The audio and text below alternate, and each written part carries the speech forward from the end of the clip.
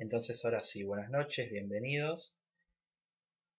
Me presento, mi nombre es Pablo Sarbo, eh, de formación soy licenciado en sistemas eh, y desde hace ya unos años eh, estoy al frente de Impala Risk en donde nos dedicamos justamente a lo que tiene que ver con implementación de mejores prácticas de gestión de proyectos.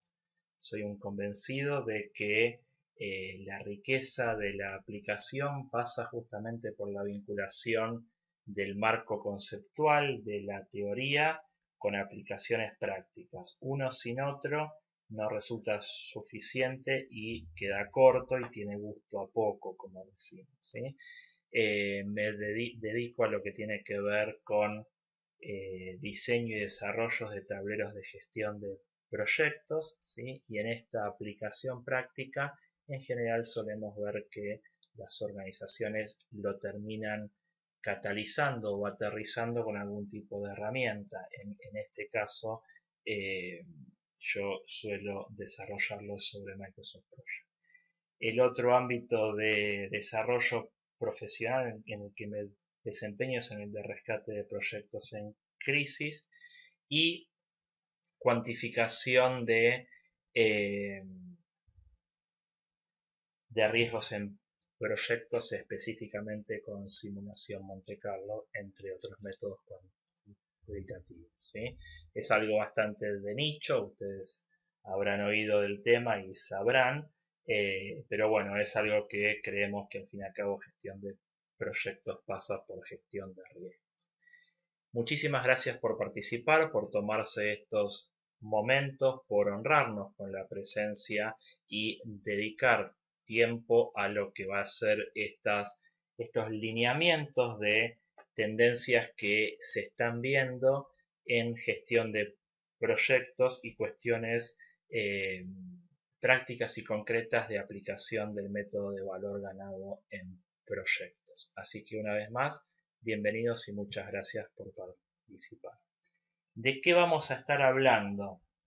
De algunas tendencias, pero enfocadas no ya en el project management en general, lo cual, eh, o sea, el project management en general, según mi impresión, ya empieza a convertirse de cierta forma en un commodity, empieza a convertirse en algo de, los que, de lo que todos hablan porque es políticamente correcto, ¿sí? Eh, muchos saben, pocos tienen margen para aplicarlo y aún menos para sacarle valor, ¿sí?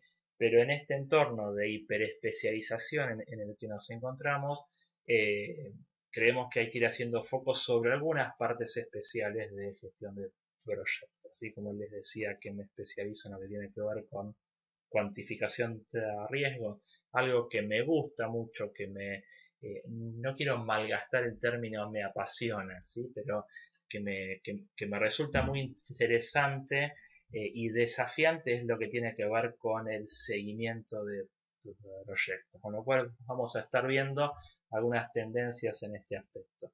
Presentar criterios para aportar mejores enfoques de seguimiento según tipos o características de proyectos y presentar experiencias en la aplicación de la técnica de Earn Value o valor ganado, cosas que han sucedido en estos años y algunas experiencias que quisiera ir compartiendo. Vamos a estar eh, cerca de 50-55 minutos con esta exposición, más las preguntas que vayan volcando durante el desarrollo del webinar o hacia el final que va a haber un bloque de preguntas. Asimismo, para ya empezar directo con los temas, les, eh, les comento que todo el video de este webinar, así como también la presentación, el PowerPoint que estamos viendo, se va a enviar a todos los que se han inscrito al webinar, que afortunadamente ha sido, han sido muchos. Así que después vamos a enviar tanto el link al video como la presentación para que puedan descargarla. Así que bueno, vayamos viendo algunas tendencias o algunos puntos que se van viendo como eh, como que se destacan en lo que tiene que ver con la gestión de proyectos. Van a haber muchos en los que espero que les despierten alguna experiencia, alguna vivencia que hayan tenido ustedes, con lo cual también siéntanse libres de volcar en el chat cosas vinculadas con lo que vamos viendo y lo vamos tomando mientras transcurre el webinar. ¿A qué nos referimos como que no, no existe indicador único? La idea de seguimiento es que en general empieza sesgado, empieza malherido, por decir de alguna forma, ¿sí? porque pensamos que los proyectos se siguen todos de la misma manera. Hay como una búsqueda de el santo grial, de el único, la, la forma de seguir un proyecto, ¿sí? Y lo que en general eh, se va viendo en seguimiento es que todos piensan que hay una única forma, ¿sí? Pero cada uno le gusta sentir que tiene el control de una manera diferente, ¿sí? Eh, cada stakeholder, cada interesado, sobre todo cada sponsor, creo que el seguimiento se vincula mucho no con los stakeholders en general, sino con los sponsors en particular. Cada sponsor tiene una forma de vincularse con los datos del proyecto, ¿sí? Y le gusta sentir, e insisto en este término, porque pensamos que somos seres ultra racionales, y al fin y al cabo lo que el, el, sponsor quiere es sentir que tiene el proyecto bajo control, ¿sí? Em, conocer el, el estado del proyecto en general parece una obviedad, lo que pasa que esos, esos enfoques de eh, reportes simples o formas sencillas de saber el estado se corresponden a proyectos de hace algunas décadas. Proyectos quizás con un poco con la, con la misma complejidad técnica, pero con mucha menor complejidad en cuanto a cantidad de participantes del proyecto. Entonces estamos presenciando una eh, un crecimiento en la complejidad del proyecto y esas complejidades requieren otro tipo de comunicar eh, el estado del proyecto. Cuando hablamos de diseñar un tablero ¿sí? o diseñar una forma de seguimiento, yo suelo motivar a los participantes, incluso al sponsor, a animarse a diseñar hoja en blanco. ¿sí? Eso es una buena forma de, como indica acá, salir de la zona de confort. O sea, no pensar en qué me puede dar la herramienta, sino al revés pensar en qué voy a querer para anticiparme a desvíos, para detectar eh, situaciones indeseadas dentro del proyecto. En general, un error común es atarse a los datos de los que dispongo, ¿sí? en vez de pensar hoja en blanco. ¿sí? Pensar en planificación cómo voy a querer hacer el seguimiento. ¿sí? Dentro de este pensar hoja en blanco surgen lo que se llaman los indicadores value based, ¿sí? o sea, considerar los objetivos reales del proyecto. Y acá me gusta ser un poco disruptivo y no pensar en los objetivos que están solo para el PowerPoint. O sea, vemos muchos proyectos en donde nadie cree en los objetivos que se están eh, publicando, pero todos hacen informes con respecto a eso. Bueno, yo los animo a que vayamos un poco más allá y nos sentemos con el sponsor a ver qué realmente le interesa del proyecto. Y eso defenderlo de manera anticipada. Y la mejor forma de defender justamente los proyectos es con una eh, adecuada gestión de riesgos y oportunidades. Los indicadores value based, como se suelen llamar en general, ¿sí? Se refieren a no solo ver indicadores de avance, ¿sí? sino anticiparse a los desvíos. Esto es muy fácil decirlo y según el proyecto bastante difícil hacerlo. ¿sí? Pero es más difícil hacerlo si no sabemos cuáles son los objetivos mínimos básicos del proyecto. En general, una de las grandes eh, dificultades para empezar a implementar la gestión de riesgo es que como la gestión de riesgo quiere proteger los objetivos, cuando queremos hacer gestión de riesgo en serio nos encontramos que los objetivos no están claros. Y nadie quiere tener, o, muy pocas personas quieren tener esas discusiones al principio del proyecto. Prefieren pensar, hago como que sabemos y empecemos a avanzar y mostrar avances.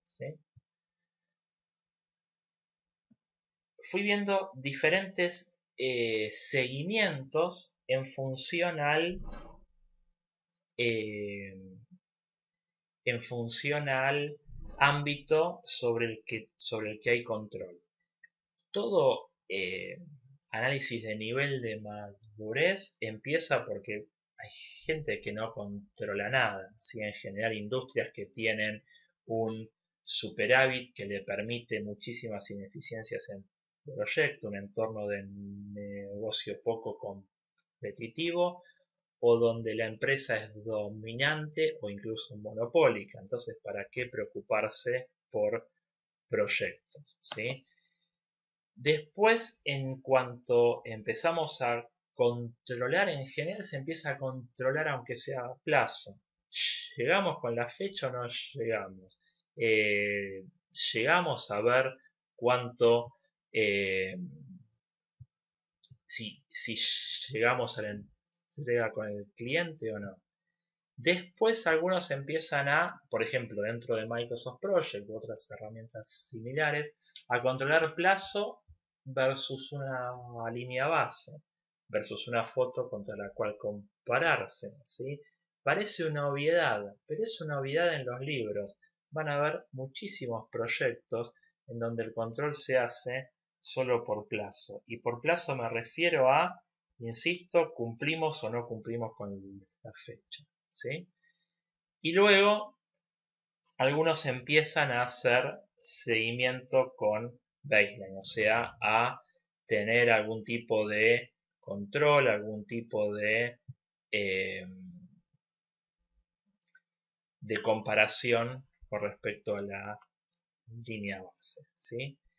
Recién cuando empezamos a tener mayor madurez y cuando ya nos quedamos cortos solo con el eh, solo con el seguimiento de plazo se empieza a ver seguimiento de costos ¿sí?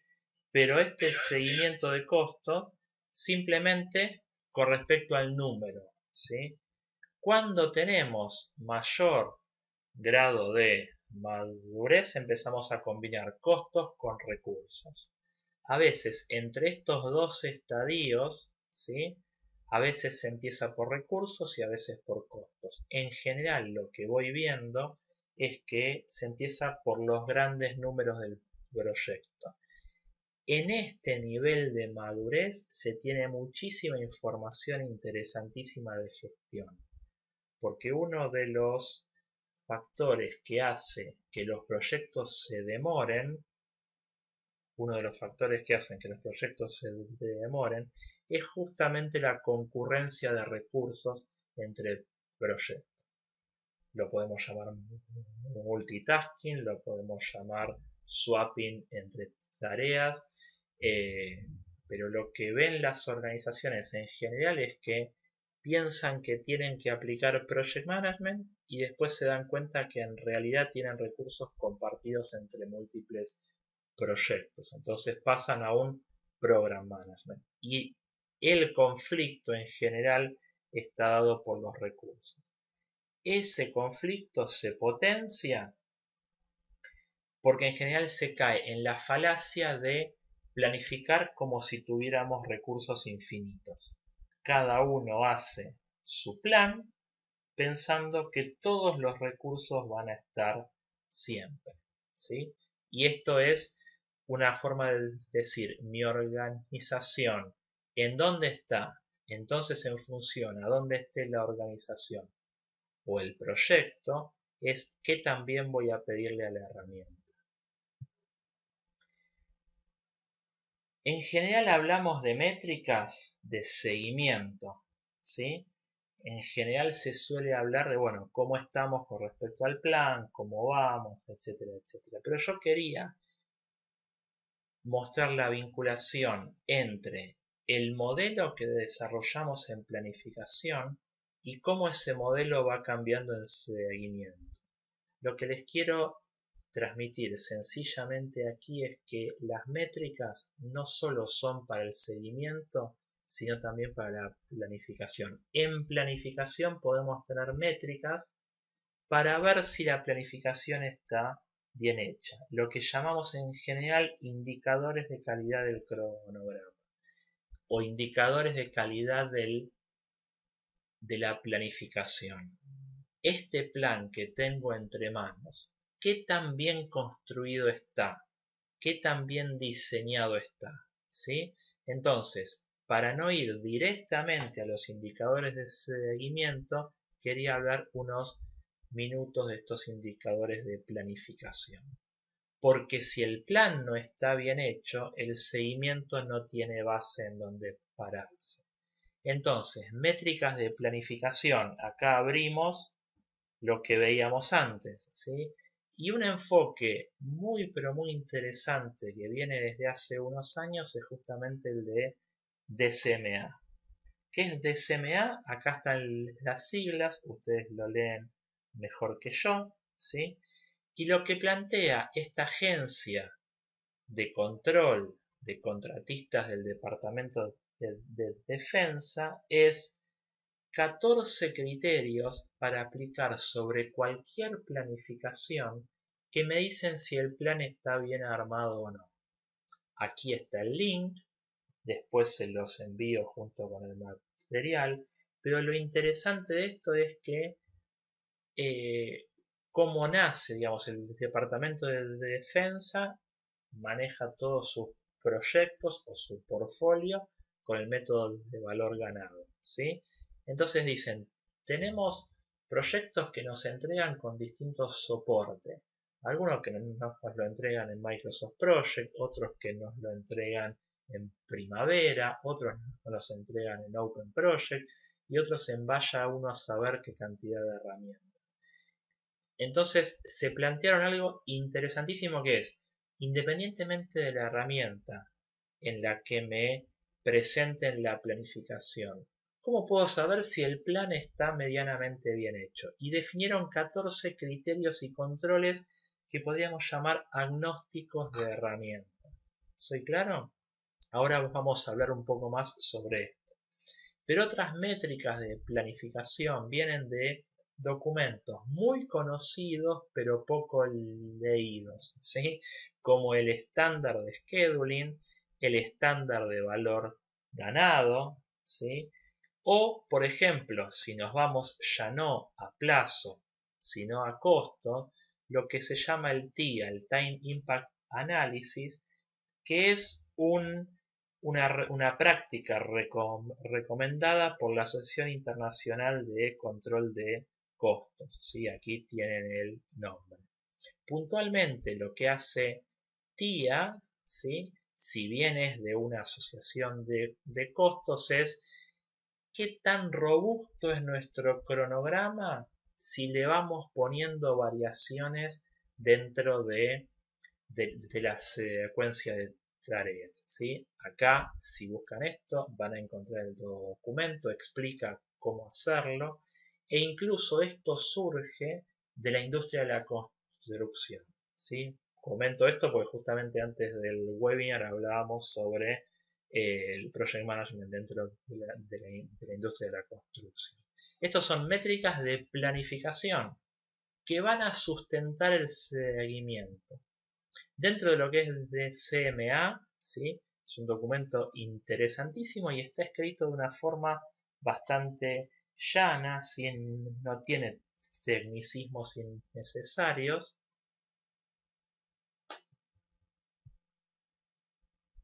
interesante de esto es que interesante de esto es que se puede utilizar para muchísimas cosas.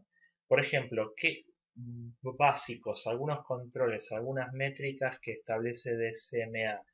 qué tan bien está, está hecho el secuenciamiento, o sea, qué tanto qué tan razonable es el cronograma, qué tanto fluye la secuencia de actividades dentro del proyecto. Eh, hay aplicación de leads y lags, si bien el, el PMI, el PMBOK, el estándar de scheduling y muchas otras prácticas dicen que se pueden utilizar, DCMA dice no, no utilicen en más de un 5%, pone un umbral muy exigente. ¿Por qué? Y porque, por ejemplo, poner leads es una forma de mentirle al camino crítico. Son cosas que uno en general no se puso a pensar y que por eso me resulta muy interesante este, este control, porque lo que hace es que para cuando, por ejemplo, recibo proyectos de un contratista, de un proveedor, puedo aplicarle controles de, manera automática, ¿sí? O controles en los tipos de relaciones, que las relaciones lógicas no sean fechas fijas. Lo que se busca en todo momento, insisto, es que el cronograma sea realista, qué fechas no se cumplieron, qué deadlines había de cumplir y no se cumplieron. Y habla incluso sobre controles sobre el camino crítico, o sea, em, técnicas avanzadas de ver qué tan confiable es el camino crítico. ¿sí? Ahora, esto es lo que plantea DCMA, ¿sí? son 14 puntos, acá se nombran 5, pero son 14 puntos que pueden ver dentro de la documentación y son eh, cosas bastante claras ¿sí?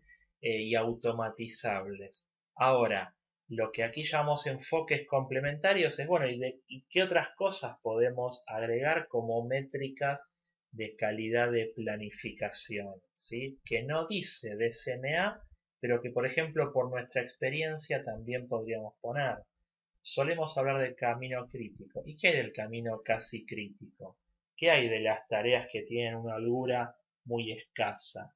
Fíjense cuánto podemos decir o eh, plantear sobre eso también, ¿no? Cuánto podemos eh, llegar a anticiparnos a desvíos si no solamente vemos las tareas críticas. Si hay recursos sobreasignados sobre tareas críticas. Estos son controles eh, muy razonables, pero que generalmente no se hacen sobre el proyecto. Y en planificación podemos ya ver que si esto, o sea, que si tenemos tareas críticas con recursos sobreasignados, no hace falta que les diga qué es lo que va a pasar, ¿sí? ustedes lo saben muy bien. Entonces, ese tipo de cuestiones ya puedo tener métricas en planificación o eh, recursos requeridos por periodos, perfiles, etcétera, etcétera. ¿sí? Entonces, esto ya no es seguimiento, esto es planificación, ¿sí? pero ya puedo tener métricas de este tipo. Y estas métricas automatizadas. ¿sí? La ventaja de esto es que la automatización de estos controles ahorra tiempo. No hace falta reinventar la rueda en cada proyecto. Por ejemplo, concretamente esto, en un cliente, ¿en qué lo utilizamos? ¿En qué fue usado esto? Lo que decía es, bueno, ahora nosotros ya sabemos cómo tenemos que armar nuestros planes. Lo que queremos hacer es eh, que los contratistas, que los proveedores que nos envíen planes cumplan con estos requisitos, no con los 14 puntos del DCMA, pero sí con estos 3, con estos 4. ¿sí? Entonces no reinventar la rueda y generar mejores cronogramas a partir de aplicar consistentemente mejores prácticas.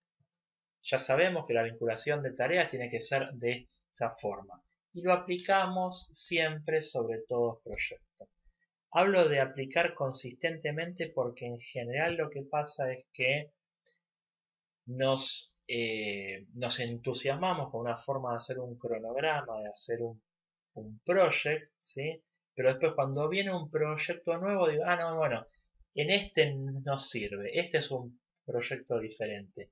Y dejamos de aplicar consistentemente estas mejores prácticas. Pensamos que el proyecto es único para mal, ¿sí? otra forma de, de, generar mejores seguimientos de proyectos tiene que ver con jugar con elementos de seguimiento. ¿sí? Y con jugar me refiero a eh, mezclar, como vamos a ver en un, en un rato, cosas que me dice un framework con cosas que me plantea otro.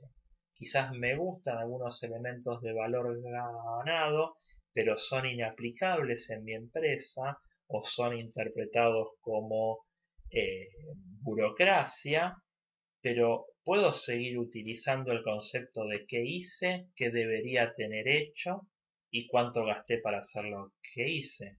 Con lo cual no lo muestro como EB, PB y AC, pero estoy llevando esos elementos. ¿Soy claro? Muchas veces nos, eh, nos ponemos obtusos en que tiene que, haber un EB, un PB y un AC y nos chocamos contra la pared que la organización no está lista para todo lo que implica valor. Bueno, no lo llamemos EB, PB y AC.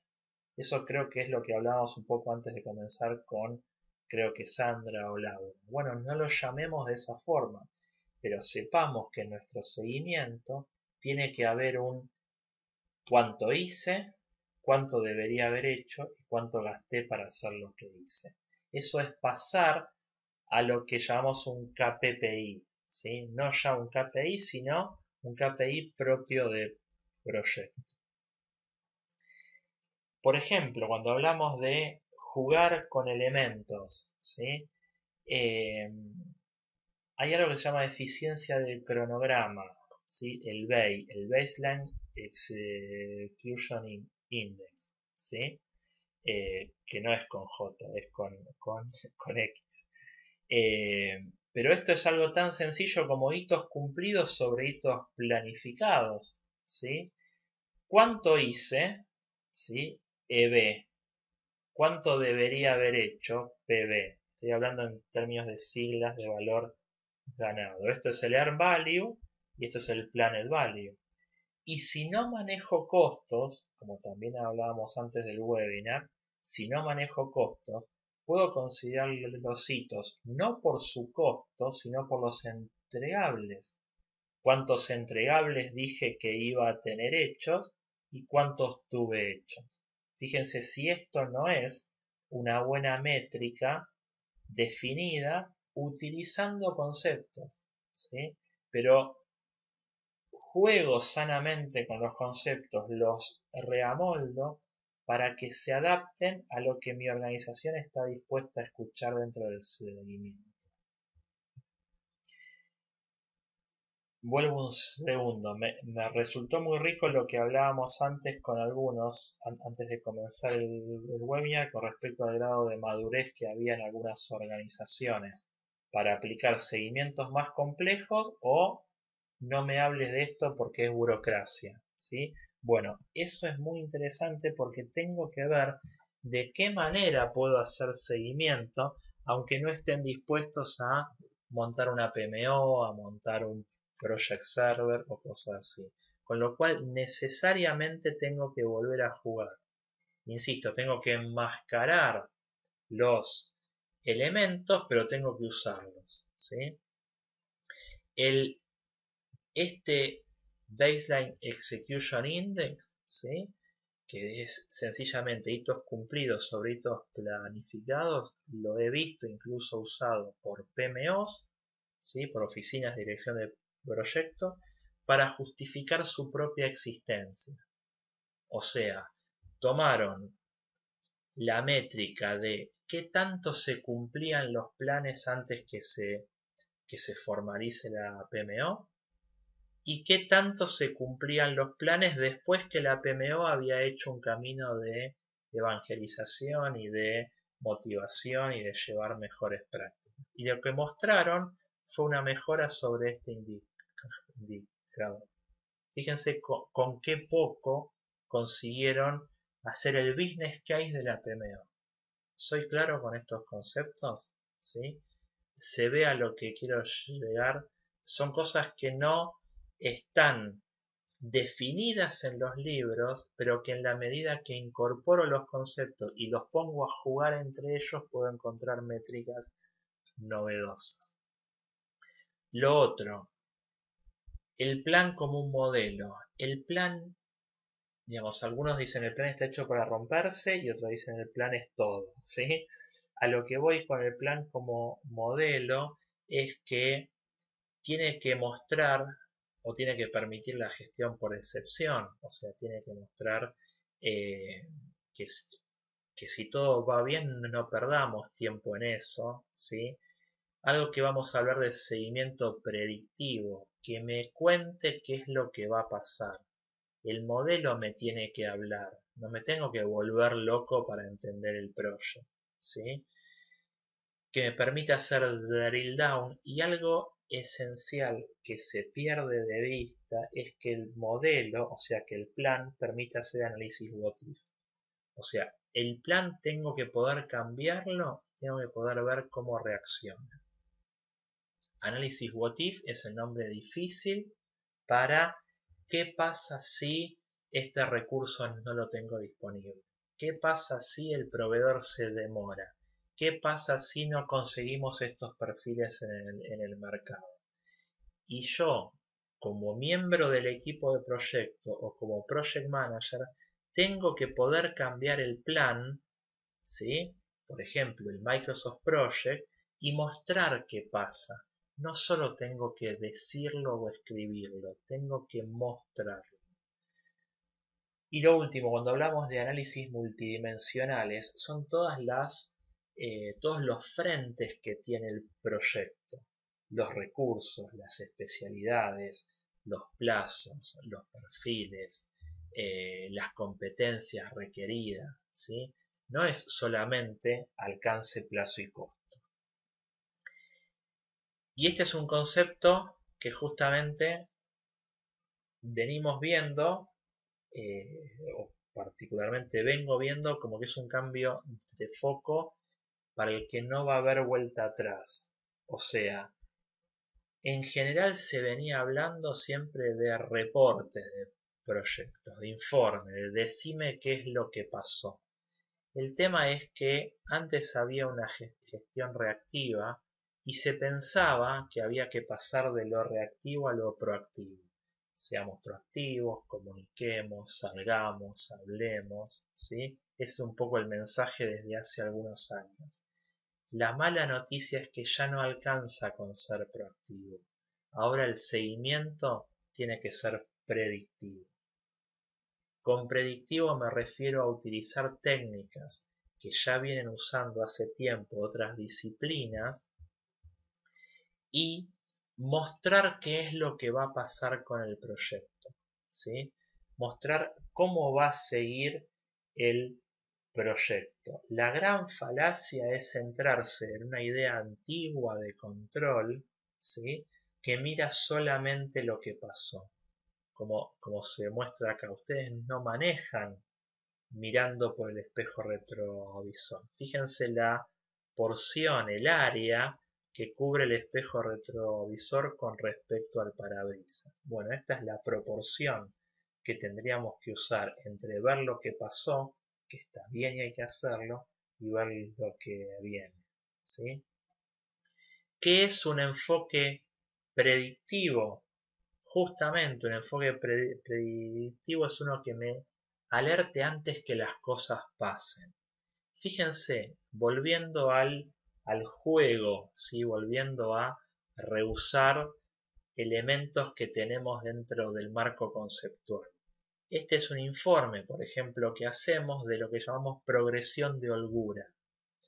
Hay un entregable intermedio en un proyecto que me interesa cumplir con su fecha sí o sí.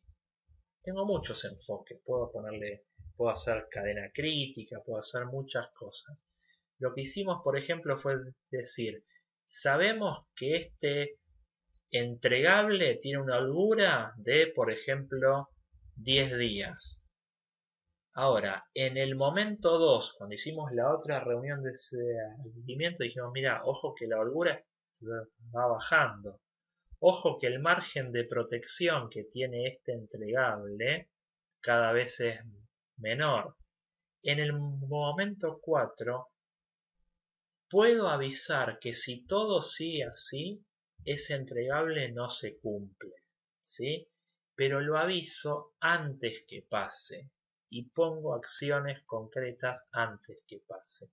Esto es ser predictivo y por ejemplo con algo que en general se usaba solo en planificación y acá lo usamos en seguimiento como son las algunas. ¿sí?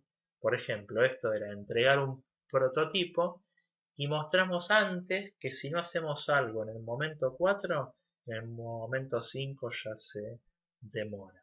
Insisto, un concepto que se usa simplemente para planificación, acá lo, usamos para comunicar un posible desvío.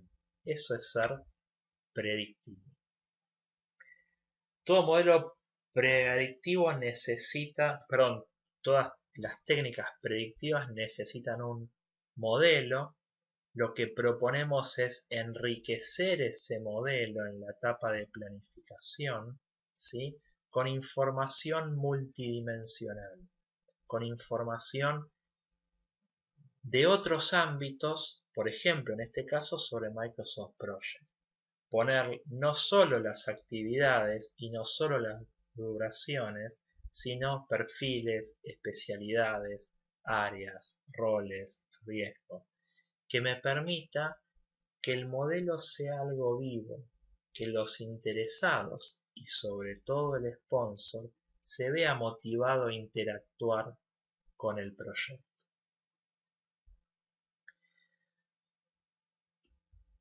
Yo suelo vivir y, suelo comentar que por más que el tablero de gestión, por más que nuestros indicadores y reportes sean eh, los mejores, cuando damos una mala noticia nos lo van a cuestionar. ¿Sí? O sea, es como cuando uno tiene un hijo y llama a un médico y dice tiene 39 de fiebre. ¿Estás seguro? Lo primero que uno hace es dudar del, de la métrica. ¿sí? Bueno, por eso hay que tener un seguimiento transparente, o sea, que la obtención, transformación y consolidación de datos sea lo más claro y transparente. Lo ideal es que sea trazable, o sea, que no tengamos informes eh, discrecionales y no tengamos tratamiento discrecional de la información. ¿sí? Porque la pregunta inevitable va a estar y va a ser siempre, ¿estás seguro? ¿Estás seguro de lo que estás diciendo? Y estar seguro es mostrar los procesos que hay que muestran ese resultado. Cuando hablamos de unificación de criterios en todos los niveles, lo hacemos en todos los niveles de desagregación de una EDT o de una WBS a nivel proyecto, pero también a nivel programa y portfolio. En, hace unos años aquí en Argentina el ICBC, el banco de origen chino, compró al Standard Bank y me convocaron para hacer el tablero de gestión del, del proyecto, del programa mejor dicho, que era la consolidación de 23 subproyectos. Cada subproyecto estaba en un archivo de Microsoft Project. ¿sí? Fue un proyecto interesantísimo por las personas con las que hubo que interactuar, por los desafíos técnicos.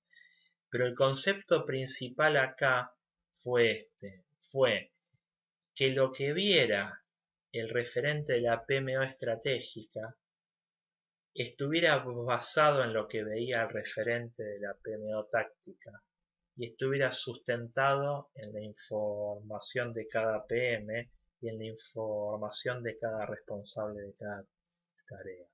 Una trazabilidad que permitía que cuando aquí a nivel portfolio se veía un semáforo en rojo, se pudiera hacer un drill down hasta las actividades que originaban ese desvío, ¿sí?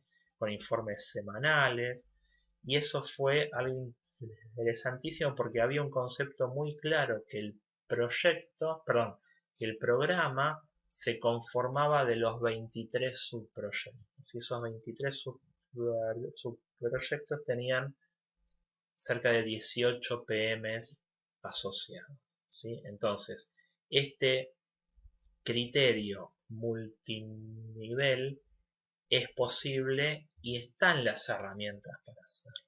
¿sí? Este es un esquema para mí riquísimo desde el punto de vista de seguimiento que proviene de la primera versión del estándar de valor ganado.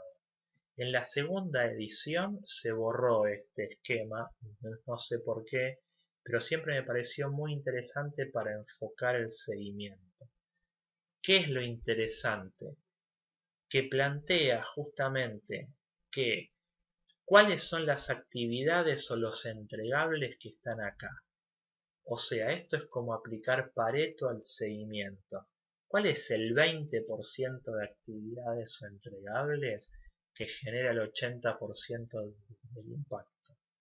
O sea, los que tienen alta importancia y alta incertidumbre, fíjense cómo incorpora el concepto de riesgo, ¿sí? o de incertidumbre que genera riesgo, a esos tratarlos con mayor detalle y mayor frecuencia. Esto ahorra horas y horas de discusiones de seguimiento. Identificar cuál es el 20% de entregables que genera el 80% de impacto del proyecto. ¿sí? Cuando sabemos lo que está acá, le ponemos foco a esto dentro del seguimiento. Hay un dato muy discutido, muy discutido, que es el porcentaje completado. ¿sí? Vamos a extendernos un poco más allá de las 9 para compensar el corte que hubo. ¿sí? Y es muy discutido el porcentaje completado. Yo lo que, lo que quiero hacer foco acá es el porcentaje completado por sí mismo no alcanza, ¿sí? Pero te da una idea muy rápida y muy directa y muy comunicable de cómo estamos. Ahora, si el porcentaje completado solo sirve para mostrar lo que pasó, caemos en ver por el espejo retrovisor. El porcentaje completado mal usado es ese. El porcentaje completado bien usado es el que me permite extrapolar y hacer un forecast diciendo cuánto va a terminar costando la tarea si seguimos con este con este ritmo y cuándo va a terminar la tarea si seguimos con este ritmo. ¿sí? Hay una discusión en especial dentro del rubro de construcción que se habla sobre los certificados, o sea, sobre el porcentaje físico completado. Y todos dicen que el porcentaje completado es malo, malo, feo, ¿sí? El tema es que el porcentaje físico completado o las certificaciones de obra te ayudan a ver qué es lo que se hizo, pero no te dan una idea sobre cuándo vas a terminar la tarea. Si tuviéramos el triángulo de alcance, plazo y costo, te hablan de alcance, pero de lo que hiciste, es una mirada retrospectiva. No te alcanza para ver lo que viene. Porcentaje completado puede usarse mal de esa forma o puede usarse bien justamente para hacer extrapolaciones. Y esto es algo muy positivo que tiene justamente valor ganado. Valor ganado, lo interesante es que no solo me habla de qué es lo que hice, ¿sí?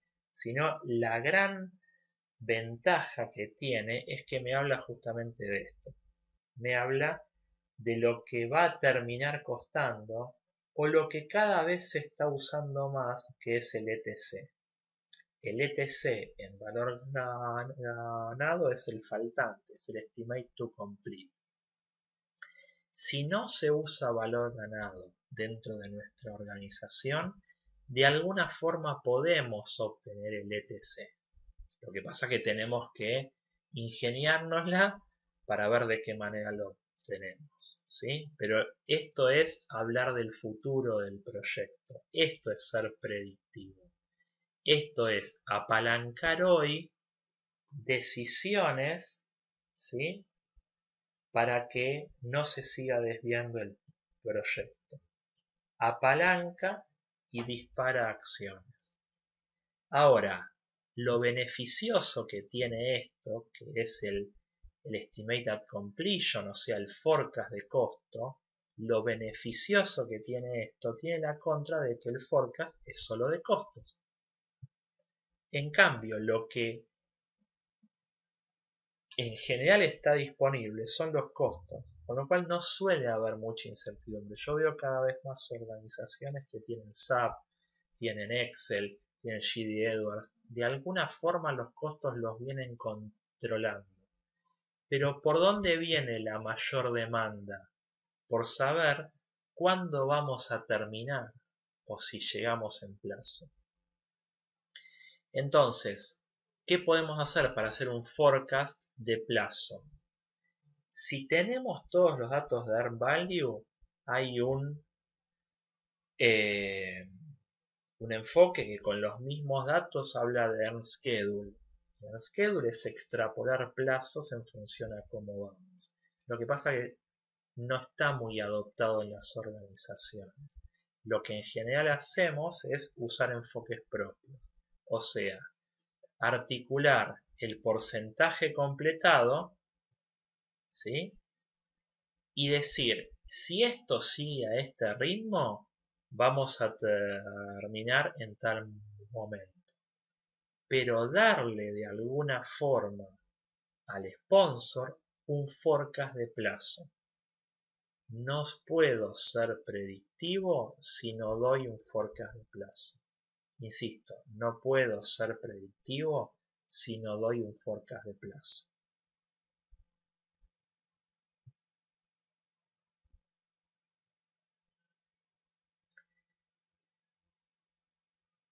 En un proyecto entre el año pasado y comienzos de este año, eh, el gran tema era que venían demorados, demorados, demorados. Entonces lo que hicimos fue, bueno, más allá de la demora que hay, si esto sigue así, el proyecto no termina en mayo del 2016, termina en agosto. Fue un, un PowerPoint que tenía solo dos slides. La reunión de seguimiento veíamos que se embarraba mucho, entonces lo que hicimos fue cortemos todos los reportes como vienen hasta ahora. Llamemos la atención de que el problema está en plazo y lo que hicimos fue un slide de carátula y un slide solo diciendo que la fecha de mayo del 2016, si se seguía así, terminaba en septiembre o en agosto. Ese forecast disparó un montón de decisiones. ¿sí? Fue dejar de ver lo que pasó y empezar a ver qué vamos a hacer con los desvíos. Esa fue una buena forma de comunicar a ambos hemisferios.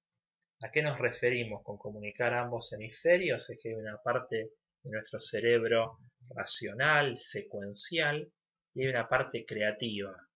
En general solo comunicamos al hemisferio izquierdo. Lo que tenemos que hacer con el proyecto es que nos ayude a comunicar al hemisferio derecho que el sponsor y los equipos involucrados sientan el desvío, sientan el desvío. Dentro de la comunicación a ambos hemisferios, yo vuelvo siempre a Henry Gantt, que fue el inventor de las barras, obviamente las que todos conocemos, pero quiero que pensemos por un segundo la época en la que vivió Henry antes que se invente el, software, las computadoras, el Microsoft Project y todo lo que usamos por hoy, y obviamente mucho antes que, que, se, que se invente PERT, etcétera, etcétera. O sea, él lo que dijo fue, yo no quiero leer las fechas, quiero verlas. Bueno, ahora el desafío es cómo enriquecer estos diagramas de Gantt, cómo potenciarlos con las cosas que nos permite el software. Y por ejemplo, ¿qué podemos hacer? Seguimiento visual, mostrar el impacto de las demoras, poner semáforos, hacer mapas de calor sobre el proyecto, hacer eh, bien digo, mapas de calor que muestren con distintos colores cuál es el impacto de los desvíos y de hormonas. Eso es comunicar a este hemisferio. Eso es mostrar y hacerle sentir a los involucrados qué pasa si el proyecto sigue así. Con lo cual eso lo podemos hacer con el invento de Henry Gantt, coloreando las barras, coloreando las grillas, mostrando desvíos absolutos, desvíos relativos, desvíos porcentuales en plazo, haciendo análisis multidimensionales por criticidad de tareas, por tipo de actividad, por especialidad, poniéndole colores y agrupando, ¿sí? Y eso es hacer que los involucrados sientan los desvíos y actúen en consecuencia. Un seguimiento que no apalanca decisiones no es un buen seguimiento. Un seguimiento que lo único que hace es que nos agarramos la cabeza no es un buen seguimiento. Un seguimiento que apalanca decisiones es un seguimiento que llegó a la media. Y eso es lo, interesante y lo apasionante justamente del seguimiento del proyecto. Y última cuestión, esto es una, apreciación completamente personal, eh, que se pide que las PMOs y los equipos de seguimiento estén involucrados. Y por involucrados decimos, no puedo ser como PMO el que está acá viendo cómo el barco se hunde. Se, rompió el modelo ese de la PMO, es el auditor que solamente muestra semáforos en rojo. Se le pide a las PMO un involucramiento que, si le va bien al proyecto, nos va bien a todos. Pero no sirve estar desde afuera criticando lo que pasa dentro del proyecto. Incluso se está empezando a hablar del concepto de PMO federativas, que para cumplir mejor este objetivo de involucrarse, lo que hacen es se les da potestad sobre el manejo de recursos, sobre el manejo de los requerimientos, sobre la decisión de en qué utilizar la capacidad. ¿sí? Porque una de las cosas que más indigna en muchos proyectos es cuando se ve algo así. ¿sí? El ganador oficial de del concurso, ese no es mi trabajo, ¿sí? Gente que está como afuera del proyecto y siempre está levantando las manos y poniendo semáforos en rojo para otro, ¿sí? Vuelvo un segundo sobre este concepto. Fíjense que en cuanto al seguimiento visual, y con esto ya vamos cerrando, en cuanto al seguimiento visual, lo interesante de esto es que lo que podemos hacer es aplicar cambios acá adentro y ver cuál es el impacto sobre las fechas. Aplicar cambios en los recursos y ver qué es lo que pasa después. Este es la base del análisis what if. Solamente puedo hacerlo si esto es un modelo, que es lo que hablábamos antes. Si esto es solo una foto estática y mal diseñada, no me sirve para modelizar, para hacer cambios sobre el modelo y ver qué es lo que pasa después en el proyecto. Para cerrar, esencialmente, pasar de un rol reactivo a un rol no solo proactivo, sino predictivo, jugar con los conceptos de valor ganado como por ejemplo el ETC, pero para hacer proyecciones no solo de costos, sino también de plazo. Y estas proyecciones de plazo, volcarlas en una comunicación que apalanque decisiones. Si mi sponsor no está capacitado para decidir, no me queda mucho margen. El problema es cuando el sponsor quiere tomar decisiones y no le damos los medios para que lo haga. Y en eso, para la comunicación visual, volver al invento de este señor. Para cerrar, simplemente agradecerles de vuelta y tomo dos minutos de su atención para comentarles próximas actividades vinculadas a esto. Mientras tanto, si quieren, pueden ir volcando dudas, consultas, comentarios y después los tratamos entre todos. Próximamente estaremos dictando un eh, un curso taller de justamente valor ganado, pero sobre Microsoft Project, con experiencias reales, con casos, ejercicios, y cada participante recibe un tablero en Microsoft Project con todos los elementos de valor ganado y con las indicaciones de cómo aplicarlo a su proyecto. Eso es lo que reciben todos los participantes del curso, con todos los elementos que se ven aquí, incluso con el ETC e incluso cómo generar eh, índices personalizados, cómo generar fórmulas y cosas que están más allá del valor ganado. Y el otro curso taller, un mes después, va a ser el de tableros de gestión de proyectos con Microsoft Project, justamente donde vamos a mostrar sobre la herramienta diferentes formas de hacer seguimiento. Cómo hacer un mapa de calor, cómo colorear barras de Gantt, ¿sí? Eh, cómo hacer índices personalizados que pueden no ser los de valor ganado, ¿sí?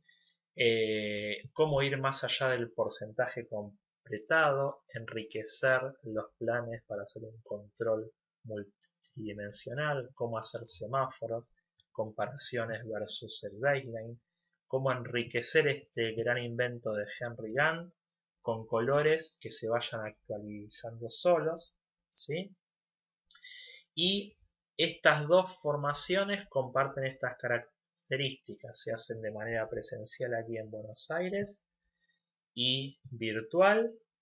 Las clases quedan grabadas como este webinar, pero sin que falle la plataforma como hoy. Y el participante nunca pierde una clase porque siempre quedan grabadas. Y también eh, se entrega certificado para presentar ante el PMI. ¿sí? Eh, estas son las fechas de comienzo, de inicio de ambos cursos taller. ¿sí? Así que vamos ahora a lo que eran las consultas. Yader dice, ¿qué es el forecasting? El forecasting es la proyección, o sea, si esto sigue así, ¿cuánto va a terminar costando, por ejemplo, el proyecto? Este es el, forecasting típico que hace valor ganado. El EAC, el Estimated Completion, es una proyección, es una proyección de cuánto va a terminar costando el proyecto. Este es un forecast de costo. Lo mismo se puede hacer sobre plazo. ¿sí? O sea, si el avance que venimos teniendo es del 40% y deberíamos haber tenido el 60%, ¿cuándo voy a terminar si sigo así? ¿Sí? Eso tiene una técnica y una forma de hacerlo y una forma de implementarlo. Pero fíjense que potente es para comunicar desvío. ¿sí? Sandra dice, ¿cómo iniciar la mejora de la madurez de seguimiento de proyecto en la empresa? En general, no pidiéndole que carguen muchos datos y sí mostrando datos poderosos como este. Si vos le pedís que te carguen toda la información de todo el proyecto y, son peleas interminables a ver si las tareas están al 47 o al 51%, eso desgasta más que lo que ayuda. Esta es una buena forma. ¿Cuál es el centro de valor? ¿Cuáles son las tareas esenciales que aportan más valor? Sobre esas tareas hacer un seguimiento diferenciado. Estas tareas sí las medimos, si nos peleamos si vamos al 47 o al 51% pero sobre estas otras sobre las que están acá abajo a la izquierda, no gasto tiempo. Hago un seguimiento por defecto, por ejemplo, aplicando técnicas de 50-50 como indica valor ganado. ¿sí? Eh, semáforos se puede hacer de diferentes tipos. Hay una forma de hacerlos en Microsoft Project. Semáforos automáticos, calculados. Eso es lo que vemos en el curso de tableros que empezamos en mayo. ¿sí? Y Marino consulta si el curso taller de Earn se tratarán algo relacionado con Earn hasta ahora nunca fue el interés de los participantes que se incluya, ¿sí? Pero si los participantes del taller de Earn ven necesario incorporar algo de Earn Schedule, lo podemos hacer sin ningún inconveniente. Eso depende de los participantes que haya y si quieren volcar eh, algo de eso, separamos una o dos horas del taller hacia el final. ¿sí? Eh, la idea es que lo que se usa para, para Schedule son los mismos datos que value ¿sí? con lo cual es cuestión de ver si la organización tiene esos datos y después usarlos de otra forma. ¿sí?